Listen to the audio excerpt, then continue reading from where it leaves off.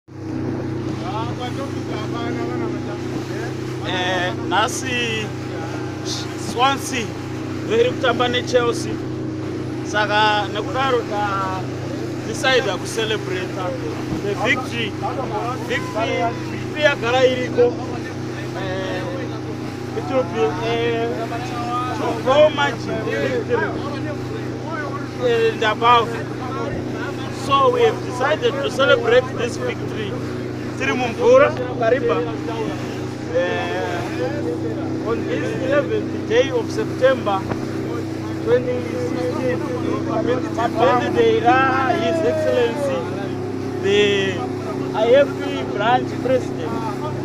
in zimbabwe eh,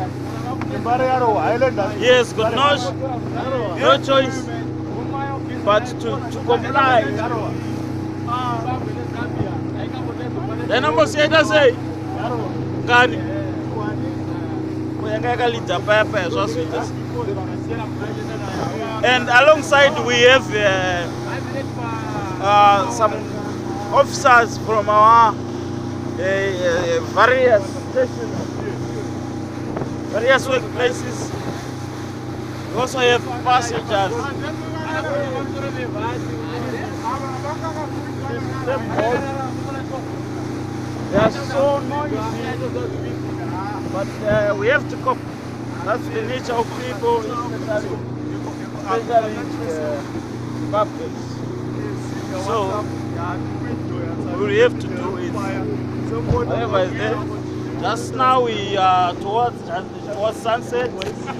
and uh, we almost uh, about to go back to our hotel room